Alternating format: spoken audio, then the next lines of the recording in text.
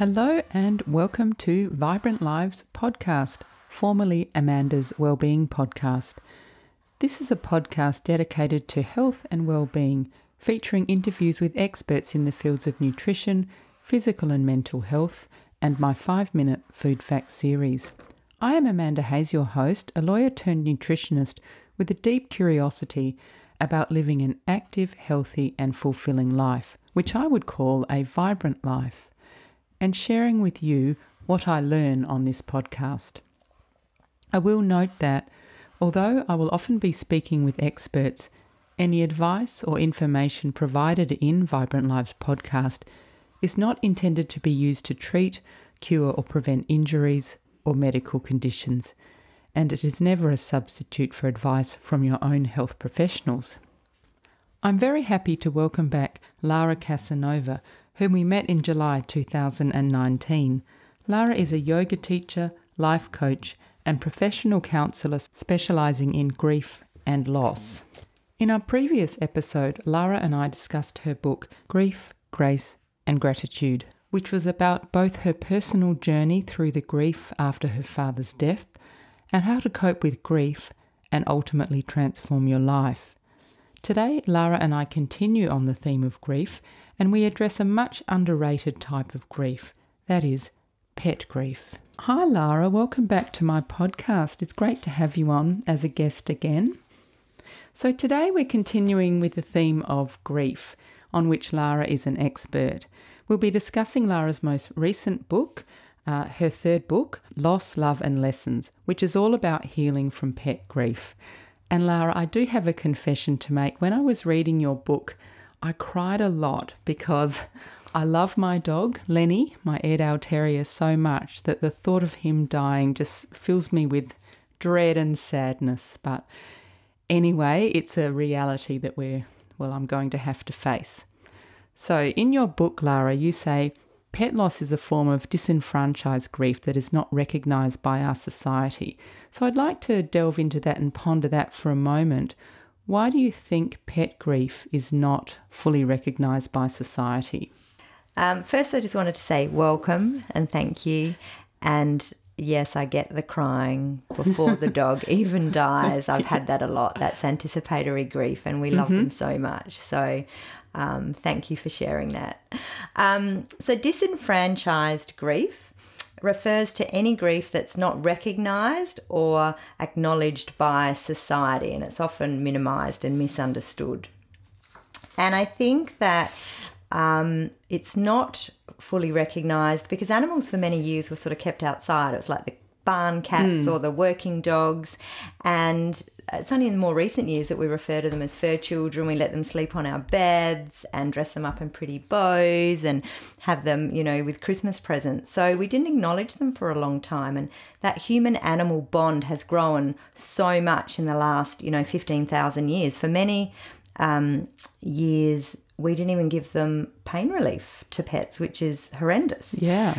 So, and bearing in mind, some people have had poor experience with pets. Um, so, I think that the main reason is that a not a lot of value is placed on pets in society as much as humans. Mm-hmm. It's changed over the years and it continues to change, but that's often, and people just say it's just a dog, it's just a cat, easily replaced, get another one, and they don't realize that those comments can be quite hurtful, yeah. even unintended to be. So I think it's that value, and it is changing, but it was still going to take time to change even more. Yeah, I think people who are listening to us discuss this today who have a pet will really relate to that. Yeah. I mean, it, they are a part of the family. Yeah. Mm, so yeah. it's good that it's changing. And what can pets teach us about love, Lara? Um, Oh, they can teach us so much stuff. They just give us this absolutely unconditional love. You know, they're loyal to the core, they're faithful, they're sitting at the front door if you're out for three hours just waiting. And I think they teach us how to love with no judgment and to love in the moment and live in the moment and you know running to the door to greet the loved ones with so much enthusiasm and excitement and they don't hold grudges and they're just so present in the moment. Yes. And, and, and that's where you can find the love when you're actually present in the moment. You know, you're just living life. So just how to live with an open heart, I suppose. Yeah, that's gorgeous. They they are, they do just live in the moment, which humans spend years trying to learn how to do. yes, a lifetime. And I've Yeah. spent the last 20 years like trying to stop living in the past and stop ruminating about the future Mm. and just coming back to this present moment and sinking down into the heart where kind of life is lived. exactly. And I'm 53 and I'm still learning every day. You know, yeah, it's me hard. me too. It is hard, isn't Yeah. it? Anyway, it's good that we have pets around to help us. Yes, yes, they that. mirror some of those lessons back to us to learn. So, Lara, your previous book, uh, Grief, Grace, and Gratitude, was written in response to the death of your beloved father. Yes. And you learnt a lot through that grieving process. And um, you wrote the book to help others with their journey through grief. So, what inspired you to write your current book about pet grief? Well, Maxie, my beautiful golden retriever, um, inspired me, as did my dad, to write Grief, Grace, and Gratitude. So all my books come from a personal experience of mine, and I use that as a backdrop in the book, and I share my experiences so others can learn from that because we don't feel so alone when we read other people's experiences. So Max or Maxie or my main man, I had many nicknames. Um, yeah, he was my inspiration. He was my first dog of mine, not a family's, Yeah. and he saw me through various different situations in my life. So he's my inspiration. How do you think grieving for a pet and a human is different, or are they different? Yeah, that's a really good question because I think that they are very similar or very different. Mm. And I think it's because every grief event is just different and individual depending on what's happening in your life or the bond with who's passed away or what you're holding on to from past life events. So, for example, when I lost Max, I had not addressed a whole lot of other grief events going back probably 20 years. Right. So when I lost Max and the grief hit, it's like, oh my God, not just his grief, but the grief of mum and dad mm. breaking up, the grief of me breaking up with a partner, various other things all came to be dealt with. So it was overwhelming, it was lengthy, it was complex. Yet when my dad died, it was easier because I'd addressed all that unaddressed Right. grief and I just had his grief to deal with and I, I called it to myself more of a clean grief. I could mm-hmm. just sit with the sadness and process it. So for me it was harder potentially or more complex when I lost my dog. But it didn't mean I didn't grieve as hard for dad. It was just a mm. little bit easier. So it depends what's going on in your life. Yeah, that makes sense. And also, I guess when you lost your dad, you experienced, you know, you'll get through it. Well, So- and yes, from having lost my dog it, and, and going through what was really difficult for me and getting to the other end and feeling like I'd processed it, yes, I knew when dad died, oh, here I am again. I know what I need to go through mm-hmm. and I just have to let the grief take over and run its course. And I know I'll get to the other end at some point. You said when Max died, some other um, issues came up for you. Do you think you didn't address them in the past because you were just it was you were too busy or you didn't have the mental space or because I know that that happens a lot with people they don't necessarily address their grief.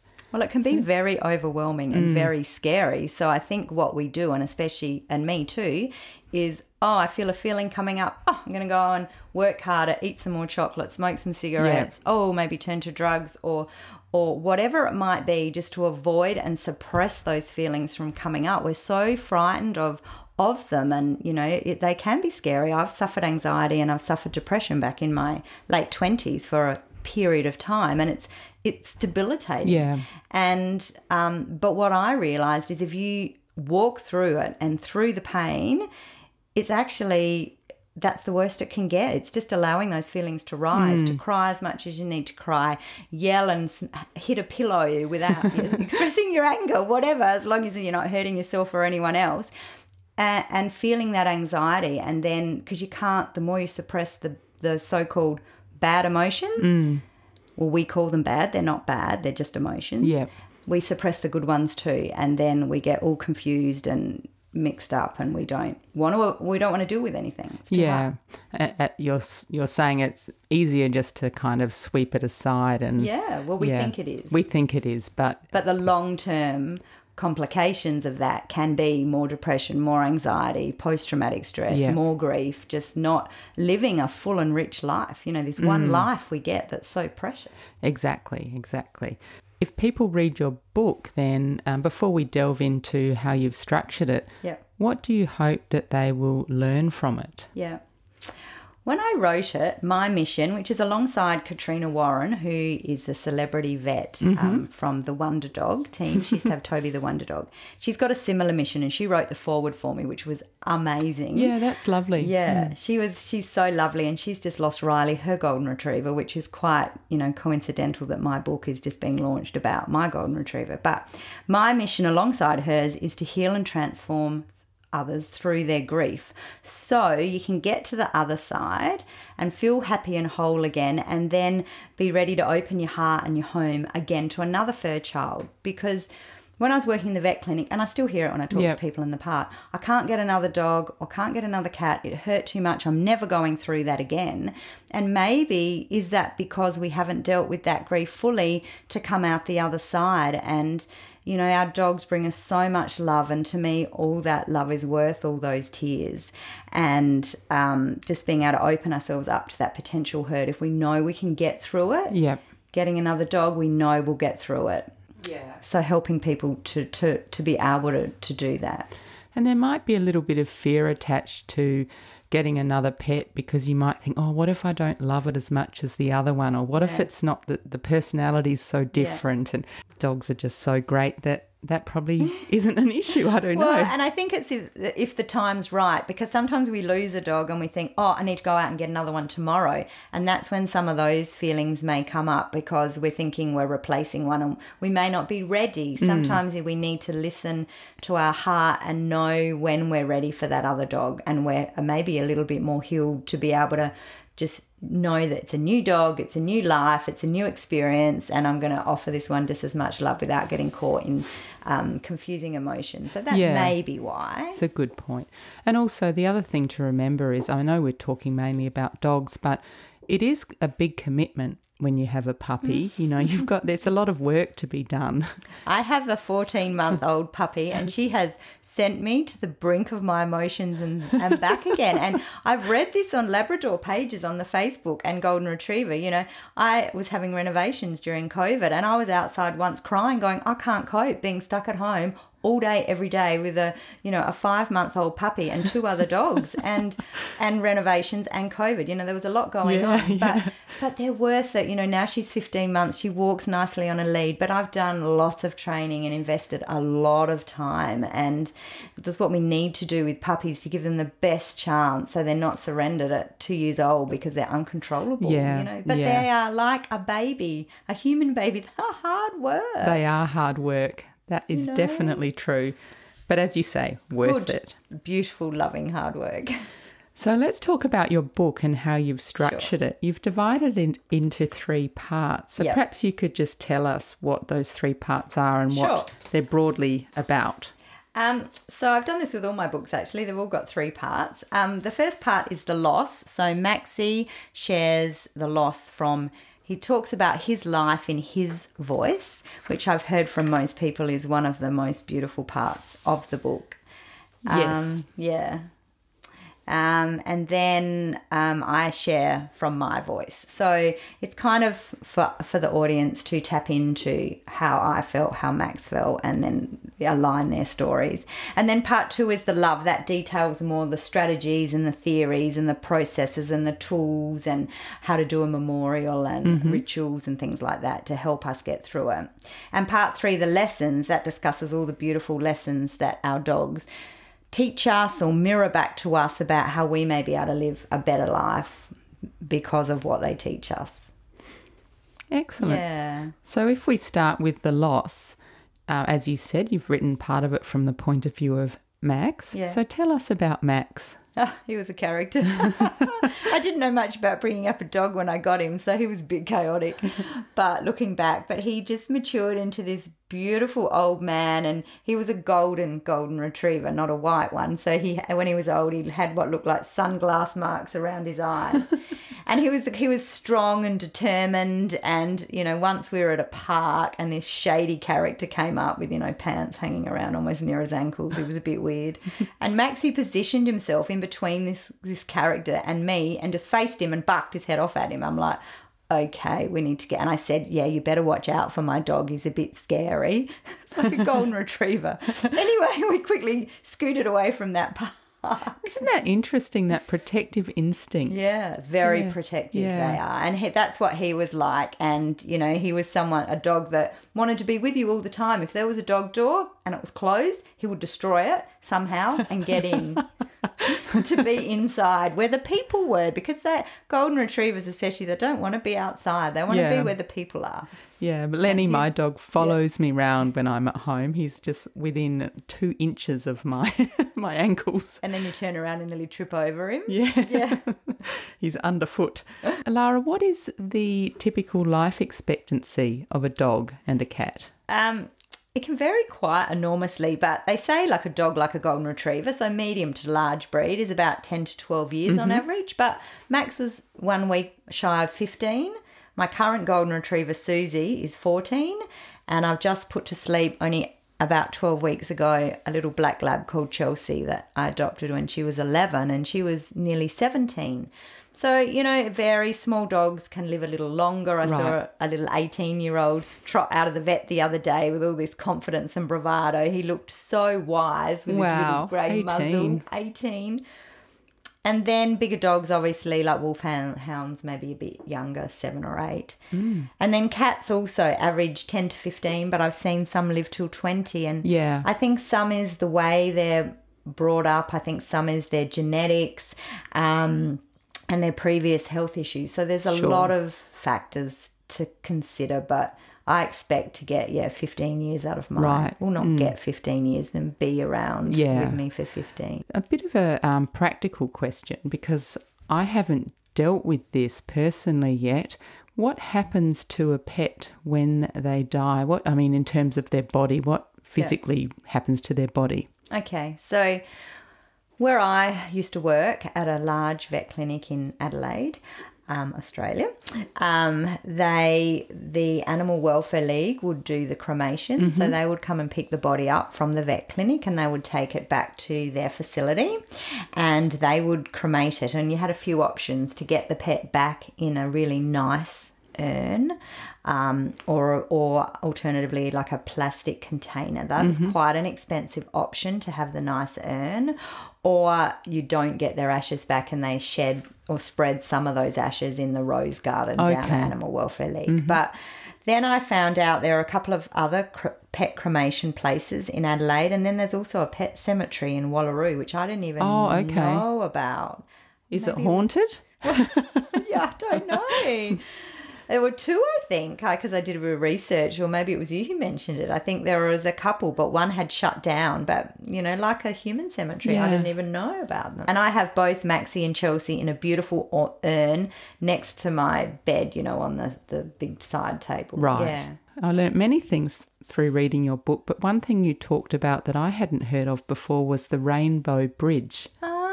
But then when I started looking online, I thought, oh, it's actually quite a well known Yeah. term. So can you tell us what that means? Well, uh, yeah, I can. Now, Mum and I joke that every time we start talking about Rainbow Bridge, we both break down. oh, no. I won't break down into I'll try not to, but that's more. There's a poem about Rainbow Bridge, and it's just beautiful. If you haven't read it, Google it. It's very, very touching. I've read it, poem. Yes, and I can't get past the first line without getting a bit teary. So, it's Rainbow Bridge is like a mythical place that the dogs go when they pass away. It's lots of green meadows. They can run around. The health is restored. Uh, if they had any um, illnesses and injuries, they're all restored, and they're just there's food and water and sunshine, and they play with all the other animals. And then one day, when we no longer are here, we meet and and up with them again, and then we cross over the Rainbow Bridge together to wherever that may be. So, for me, it's kind of just soothes my heart to think hmm. they're living on, they're all playing up there together, over there, up there, whatever, and then one day will be together again and, they live on in my heart and all those paw prints that are Yes. scattered over my heart. So it's what I like to think. Yeah, that's really lovely, actually, isn't it? Because it does conjure up images of your pet being Yeah. happy and healthy and, Yeah. you know, having the best pet life Yeah. possible. Yeah, mm. exactly. Mm. Then the next part of your book is the love. Yes. And I just wanted to mention that you start all your chapters with a quote. And uh, one of my favourite ones is in this section of the book. And you say, Until one has loved an animal, a part of one's soul remains unawakened. And that's an Anatole France quote. So I love that. It's so true. So, as you said earlier, this part of the book discusses grief and how one might experience grief. Um, and you advise the readers to feel their grief and not suppress it, which we mentioned before. Um, with your counsellor hat on, Yes. how is it beneficial to do that? So, by feeling the grief, we're able to process it rather than suppress it. And it's a really heavy and potentially sad energy. So, as I mentioned just briefly before, if we repress or suppress any of the those emotions like sadness, anger, grief, um, we're also suppressing any good emotions. So, being a part of a human and our human condition, we have this whole array of emotions, and we can't pick and choose the ones we want to feel and the ones we don't. So, and it's like when you look at the children in the playground one minute they're crying, then they're laughing, then they're yelling at you, then they're just, you know, um, you know, bouncing back between emotions, and and obviously it's a little bit different as we get older, but it's it's being able just to feel what comes up, and um, they can be really overpowering and strong. So, trying to get to know ourselves better and learn ways that we can um, express them, so we're able to find those beautiful, rich, loving emotions, and we mm-hmm. can walk around the streets, you know, going, "Oh my God, look at that tree! How beautiful that is! Oh, life's amazing! Life's wonderful!" And I feel that often, you Yeah. know, more than fifty percent of the time, way more. And I ask people, "Do you feel that? Like, oh my God, life's just beautiful?" They go, "Oh, maybe when I'm on holidays, but no." and I kind of get it because I didn't used to either. But now I know the difference. Like, there's this whole array of beautiful, more than beautiful emotions that make you feel so alive. And they're there because I've felt the really bad ones. You've, um, you know, awakened yourself. I'm just open. Yeah, you're open. Mm. Whatever arises next. I'm sort of a clearer channel for Yeah. anything to come up. And when it comes up, I let it out. And yoga has helped me a lot with that too. So that leads very nicely to my next question. You talk about walking through the middle of the grief. Yes. So obviously that's related to experiencing those emotions. So what do you actually mean by that? How does one walk through the middle of the grief? Yeah, it sounds a bit scary, doesn't it? It Sounds like a bit like walking on hot coals, and, Yeah. it, and it kind of is. It's a bit scorching and hot at that place. What it means to me is just if you feel something, you let it go. Like I've been walking through supermarkets with my sunglasses on and tears streaming down my face, or yoga classes and tears streaming down my face, and just allowing it um, rather than oh I can't cry, got to stop, got to stop because I'm here, and then you never get back to it. Or and if there's emotions there, maybe you use something to help draw it out, like stillness, quiet, music, whatever it may be, because otherwise you can feel that energy in your body and your body tightens and and ten, you know tenses up. So it's just that allowing. Um, and it can be really scary, but just trusting in the experience. And if something comes up, letting it out rather than trying to push it back down. So that's kind of what I mean by, yeah, just walking through it, just allowing mm-hmm. those emotions to rise. Yeah, and I can see how that can be scary because, as you say, maybe crying in the supermarket, it's not the in quotes done thing, is really. it? So, so I can see why someone Yeah. might want to suppress Yeah, of course. those feelings because they can arise at inconvenient times. Yes, and they do. And then we're busy and we can't get to it, or or it's even. And the other thing you can do is um, is journaling. Um, because that can bring up stuff too, is like thinking about or making a note in your phone or something. "Oh, I need to come back and think about this that came up today. Um, and you know, I went water skiing the other weekend, and halfway home, which I don't advise you do in the car, I, some music came on. I just cried half thirty kilometers home, and it's like, oh, you know, I can't really see, but I was really crying, and and, and I knew it was quite a few different things that were coming up. But sometimes it's not even ration, rationally trying to work out what it is. Just let it out. Yeah, yeah, because sometimes, as you say, you don't know what's triggered that feeling. Like, presumably, you had a fun time water skiing. Yeah. So, and then, And we get back, we go back into our head and we try Mm. and analyze it and work it out rather than staying in the body Mm-hmm. and letting the body advise us what it wants to do because the, the emotions are kind of trapped and circling around in the body and we need to get them out. yeah, okay. So, when you're talking about walking straight through the grief, you're basically saying, let those emotions happen, Yeah. be with those emotions, and don't try and suppress them. Yeah, and then we're we are standing in the center of that grief if we have that big tear fest coming up. And and I think of tears as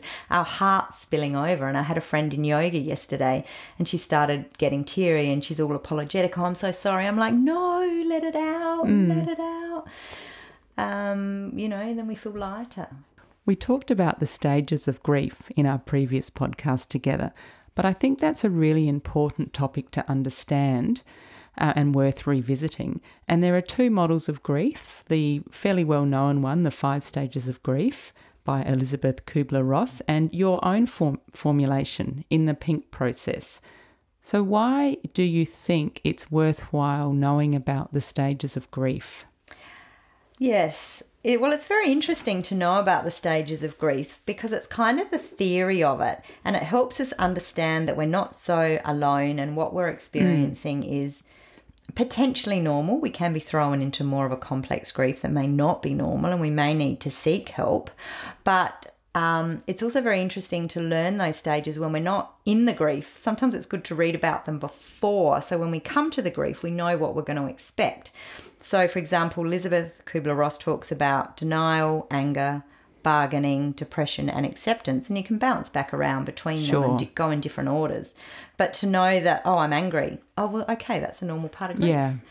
But it depends how you would know within yourself if you're thinking, I, I feel out of control or I need to go and get some help from a psychologist or someone someone else.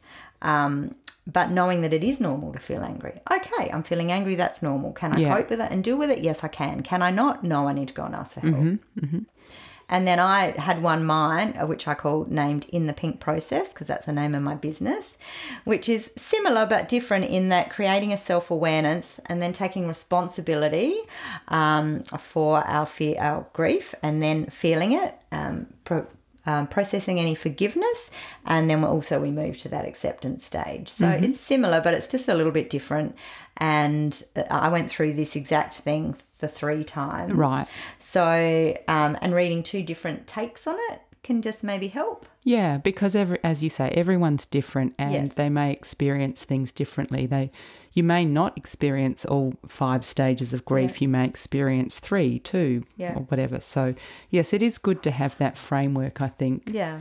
um, especially for people that haven't experienced grief before, because it is, it's a confusing time, isn't it? Mm. Yeah. going through very grief. Mm. confusing the first or even the second as well. It's confusing every time, but if it's your first time, it's like, wow, I don't know where I am or what's going on. And sometimes the ground can feel like it's not even there. Mm. Nothing's, everything's surreal and you've lost your footing or Yeah. um, the world's just spinning.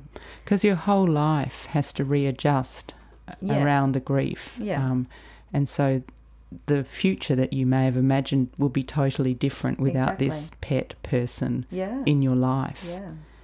So, one of the very poignant points you make is that um, grief can be very, pet grief can be very difficult for us humans because we're often the ones that have to make the decision mm. about putting our pet down or euthanizing our pet. And that can bring with it feelings of guilt.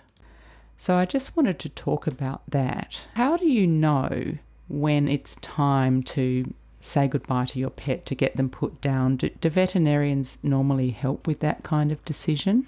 Yeah, it's a really tough one. And when I worked in the vet industry, I hear that a lot. And yes, they do. The vets and the nurses will generally, especially the vets, will reassure you that the time is right. Um, they will guide you through that process or, uh, you know, give you some options if you're not quite there. Um, and even with me putting Chelsea down, you know, 12 weeks ago, and with all the experience I have, I was still like, oh, is this the right time? I don't know. I- She had kidney issues. But the day that I decided, I knew 100% it was the right time. Right. So I think sometimes you get a, little, a week, a couple of weeks, a couple of days that you kind of think, do I, don't I, I don't know. And you, you ask people and you ask the vet. And, and then all of a sudden, I think you just know. Right. And if you operate from their point of view rather than our own, um, you know, because it's a it's an act of love, the final act of love to Yes. say goodbye and take them out of their misery and propel us into our own d- um, grief and depression over it is very hard. But I think if we really listen to our heart, we know. But we can get caught in the head again, so that's when the vets can help us. Yes, yes. Well, your Maxie gave you a, a sign, didn't he? He put his little Yeah. when he was a puppy, he'd always put his paw on my book when I was reading in bed. I'm like, Max, put, I can't see the words. anyway, so the last day, I, I asked him for a sign, and I was looking at our photo albums, and within minutes, he lifted his paw and put it on the photo album, and he hadn't done that in years. And I took it off and put it away, and then he did it again. I went, Oh, you're telling me this is your sign? Oh, beautiful boy. Sorry. this See, is a so sad no, I'm going to let the tears flow down my cheeks as we talk about Max. He's beautiful. So, can you give our listeners some tips then on how to navigate that guilt that is associated with making the decision to euthanize your pet? I was thinking about this because I thought you might ask me this, and I looked up what guilt, guilt actually meant, it meant in one of the dictionaries, and it said culpable or responsible for a specific wrongdoing. Oh, okay.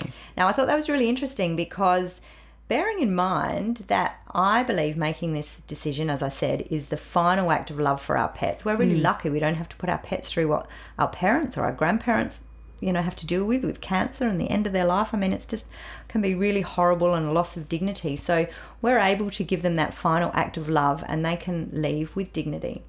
And we get thrown, as I said, into our grief. So to me, that's not really an act of wrongdoing. It's an act No. of love.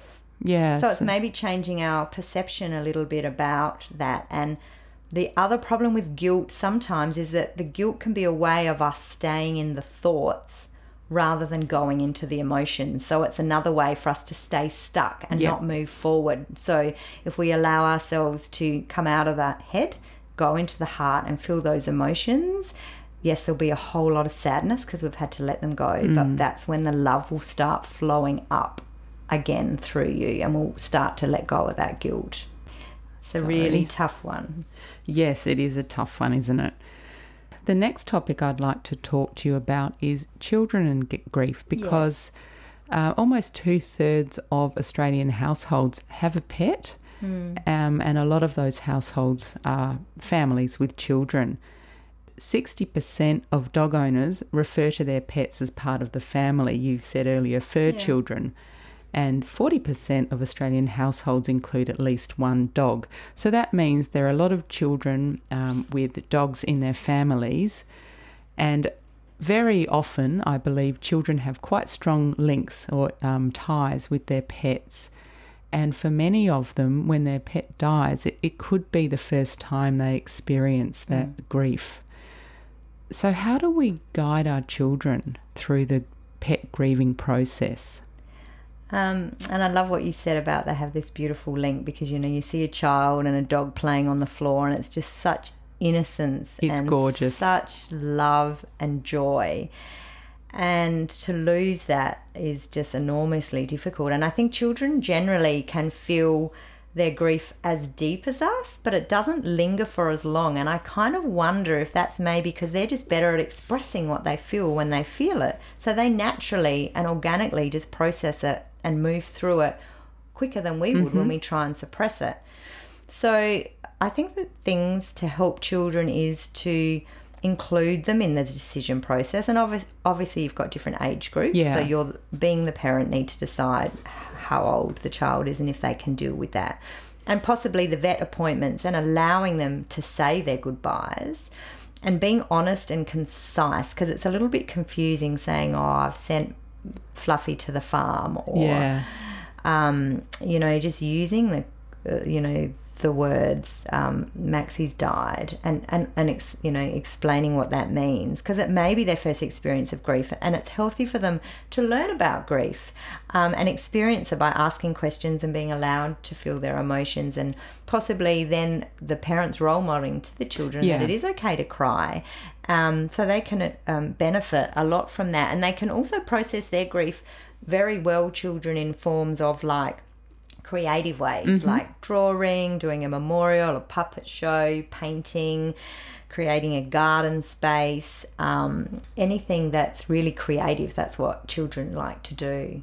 Something that you mention in the book is how to say goodbye to your pet, like Yeah. having a memorial or Yeah. a eulogy. So perhaps if uh, there are children in the family, this could be a really nice way for Yeah. them to, you know, process their emotions and, and understand what's happened. And with Maxie, I decided to have a memorial more because all the children were asking all these questions and because they hadn't experienced a grief before. And it was great for me to have one. And I set up a little altar, had some candles and the urn with the ashes, various other things. And they all came along with poems. and gorgeous. I said a little eulogy and then they all came up and said a little eulogy. Then we had dinner and some, um, uh, you know, snacks and stuff. And I left the altar there and one of my nieces kept coming up to the altar and sitting down and she's not necessarily religious, but putting her hands in the prayer pose and just saying a little thing to Max and then a few tears and she'd leave and she'd come back and they were making all those Numi bracelets are they called? Oh, they're the little elastic bandy things. Yeah. And you know, they kept putting them all over his collar and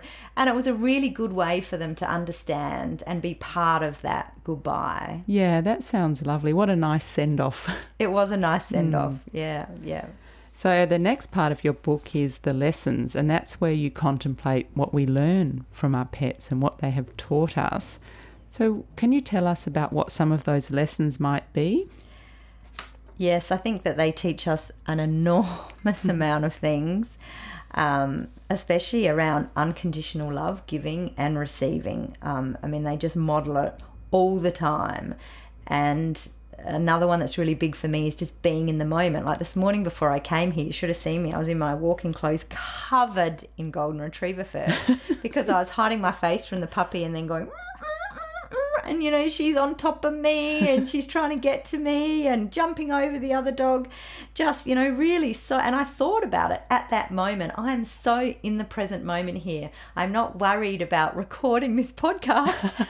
I was in the furry moment just enjoying it. So and you know you can tell by my smile just probably through my voice that it was a really special moment. So and just you know being physically fit and self-loving and having fun and being authentic there's so many lessons Yeah. The other thing about animals is they never hold grudges, do they? no, They just no yeah, let it all go. No. Um, so, how many dogs do you currently have? Just i have two, Two? a 14 year old and a one year old and do you walk them together or do you do it separately? I tried to walk them together, but it's a bit of a disaster because they've got different needs. So I walk Pippi the puppy for an hour, come home, give her a little bit of food, and then walk the 14 year old for about 20 minutes. Oh, okay. I think that's when I saw you this morning. I saw Lara walking past our house. It must have been with the Yeah. 14 year old. Uh, no, with the one year old. Oh, with the one year old. Oh, Yes. so the one year old was quite big. Yes, she's Yeah, big now. yeah. And then in the afternoon, they get another hour together at Oh, a park somewhere. You're the perfect dog Yeah, mum. they have two hours every day. Oh, wow. That's great. Lara, what have been some of the responses that you've had to your book?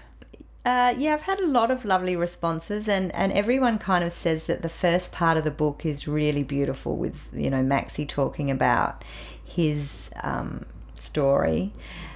Katrina Warren, you know, she was great endorsing it and she's loved it and put some posts on her page. And Talking Stones is a place that I've got a stone, lovely river stone, with the name of Maxie and Chelsea and the dates. So, you know, they've taken it on and they, they love it. So they're going to do some promotions with them. Animal Welfare League and RSPCA, they've been really great in supporting me in the local bookshops. And um, it was funny the other day, someone sent me something and it was in Australian Dog Lover magazine that I'm like, how did they get hold of it? they just must have. And I sent them an email, so we're in contact now. And I think they want me to do a podcast as oh, well. wonderful. But I think because it's hot pink, it's quite catching. And I think you know Katrina doing the foreword was just beautiful um, because uh, most people or a lot of dog lovers know Katrina Warren quite Mm. well.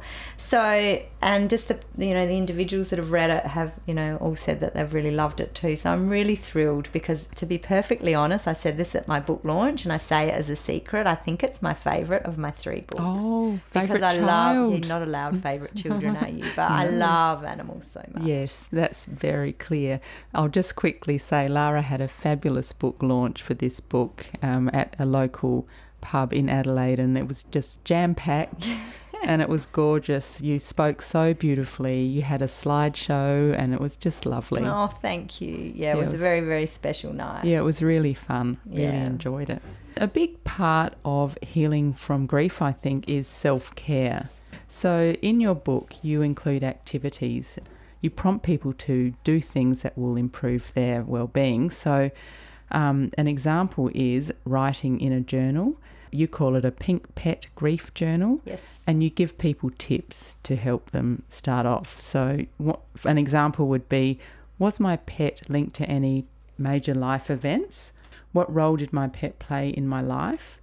So, it seems that writing a journal is something that features in certainly your two books that I've read. Is it in your first book as well? Yes. So, in all of your Yes. books. So, it's um, clearly a cathartic process, I think, for you. And what is it about keeping a grief journal that helps with the healing, do you think? Uh, yeah, journals are amazing. I've got quite a few of them, and I've referred back to them all when I've written my books because they've got all this information from my head and my heart in there. So I think it just gets the thoughts out of your head and down onto a piece of paper. And sometimes when you free flow write, so that kind of means that you don't care about what it looks like, if it's messy or tidy, you just write what's coming out of you straight down onto the piece of paper.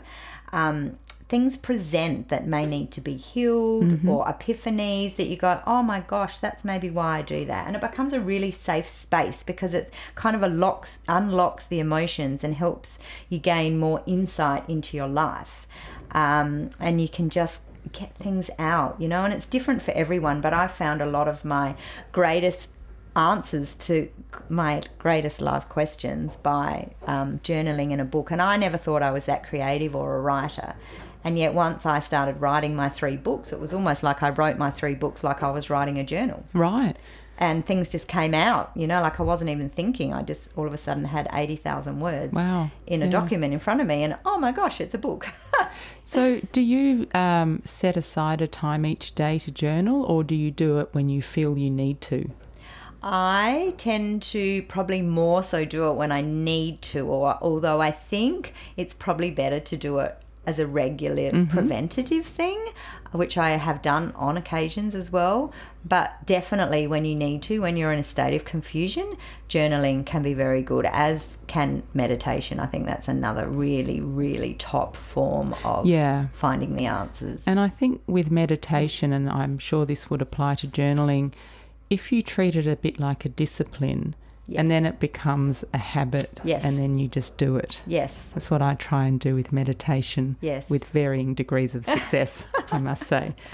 But on the topic of self care, it'd be nice to end this chat on a positive note. So, Lara, Sure. you're a teacher, a counsellor, you coordinate a sistership circle, and so you are very well qualified to talk about self care. So, can you tell us some of your favourite methods of self care and uh, self love? So yes, I I love this. Um, so we need to love ourselves. Like it's almost like putting that oxygen mask on ourselves before our children in the plane. You know, if we don't love ourselves, we can't pass it on to others. And how can we love others? People get caught in that with a relationship if we're not loving ourselves. You know, so.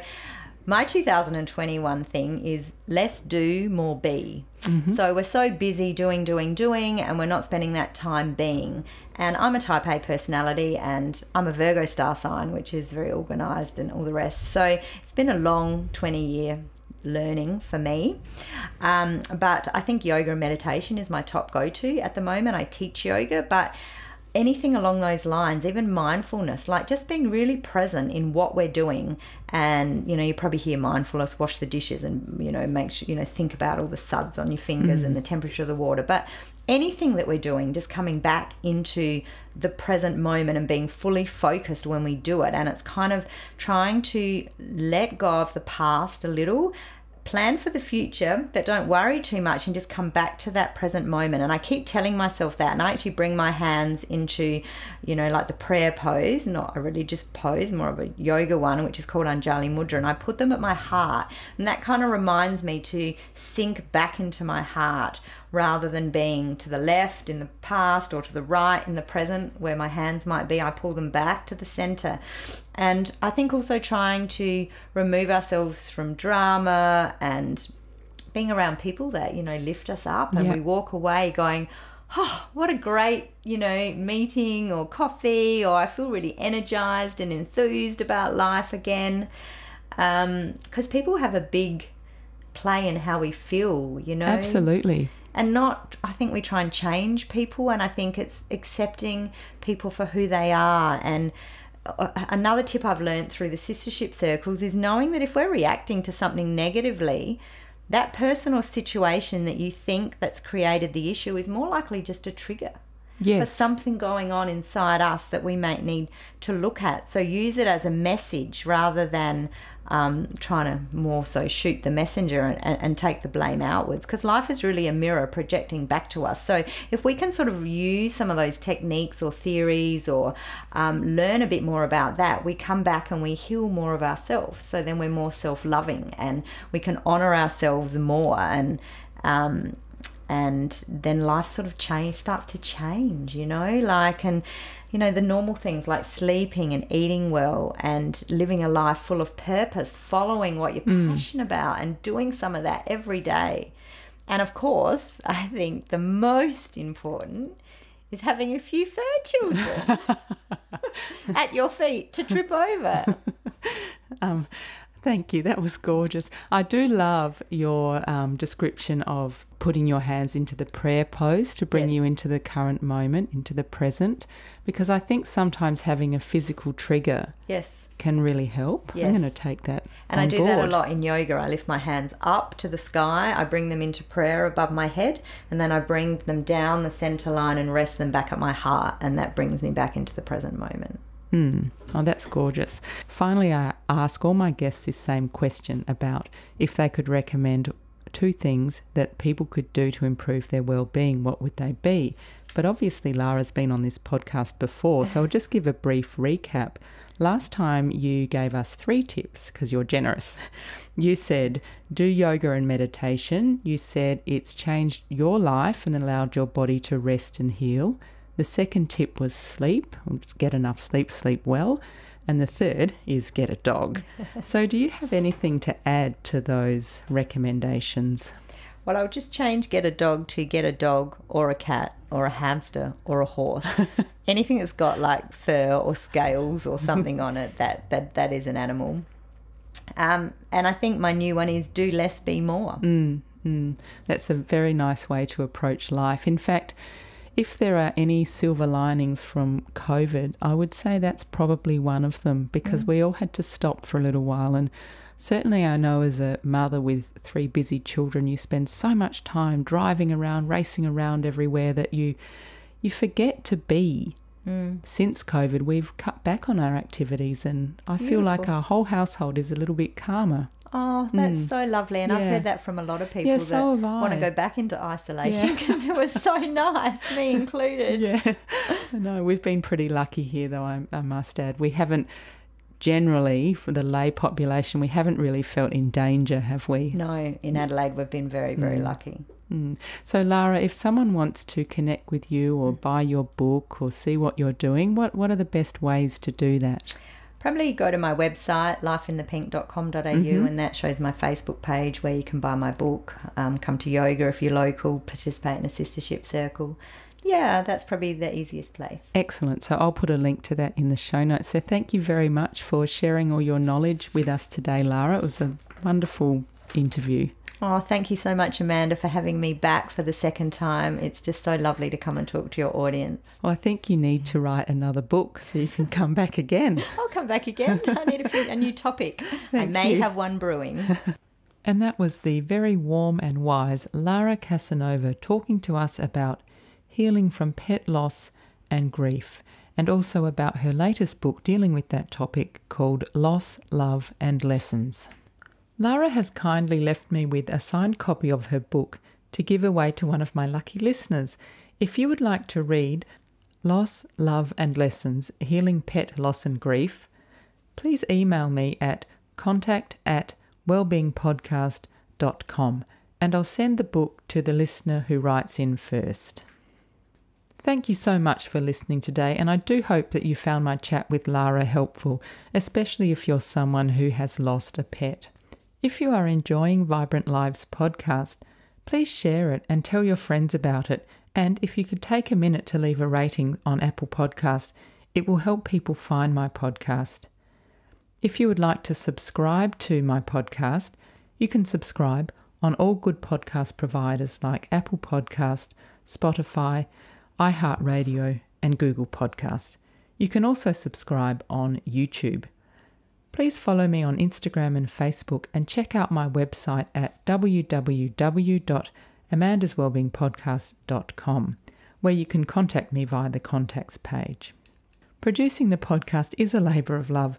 It's become my full time job, and I do dedicate a lot of time, money, and effort towards it. If you enjoy my podcast and would like to support it, I would be so grateful.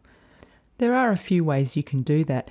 You can go to the donate page on my website and you can make a donation via PayPal, or you can buy a book from the book reviews page on my website. If you click on the Amazon link in my bookshop, at no extra cost to you, I receive a small commission when you buy the book. Thank you for tuning in. Eat well, move well, think well.